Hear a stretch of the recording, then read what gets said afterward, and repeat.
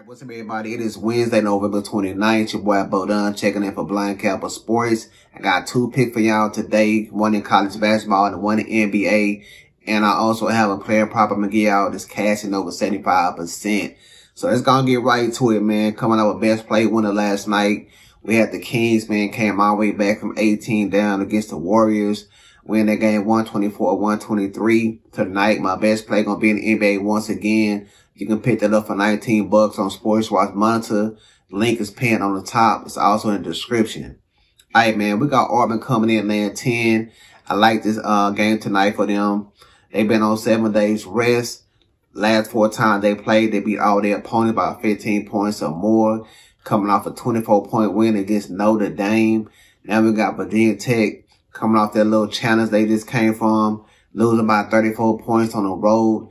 And, um, I think they played in Florida down there, but Florida Atlantic beat them by 34 points, man. They let them shoot 56% from the field. They're going to have a tough time tonight against the Auburn team that's playing good defense. The offense is clicking.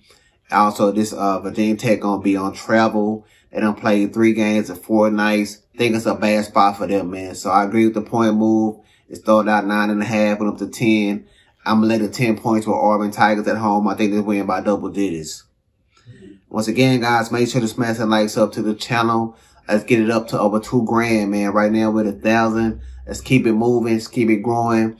Make sure to leave y'all top plays in the comments. I answer every comment. I reply to every comment, man. Love to interact with y'all. So leave y'all top play. Let me know if y'all think about this pick and leave y'all top play down there as well. Also, man, follow me on Instagram and X. Uh, the links are in the description. I got a nice uh, player prop parlay that's over there as well, man. So next game we're going to look at is the LA Lakers in the NBA against the Detroit Pistons. I like the Lakers, man, to get this win minus a seven. Now, right now, man, Detroit coming in with a two and four record. They have one of the worst records in the league right now, right there with the Washington Wizards. Matter of fact, the last time they just played Washington, they got beat by 19 points.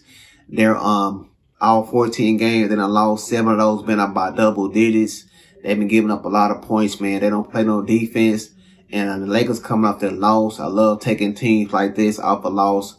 I think they're going to bounce back, man. They can blow this team out. They can pretty much name their number, man. I think Anthony Davis and um, LeBron James going to have a big night tonight. So I think they'll win this game by double digits as well. So that's my next pick. Lakers minus a seven. And I'm gonna stick in the same game, man. I think that Anthony Davis gonna have a big night tonight. Last six time he played against Detroit, he went over his uh, points total. Tonight we got him at 23 and a half, so that's what I'm rocking with. Alright guys, I got the best play tonight. It's gonna be in NBA. Coming out with best bet winner last night. You can pick it up on Sports Watch Monitor for 19 bucks. Link is pinned on comments. It's also in the description.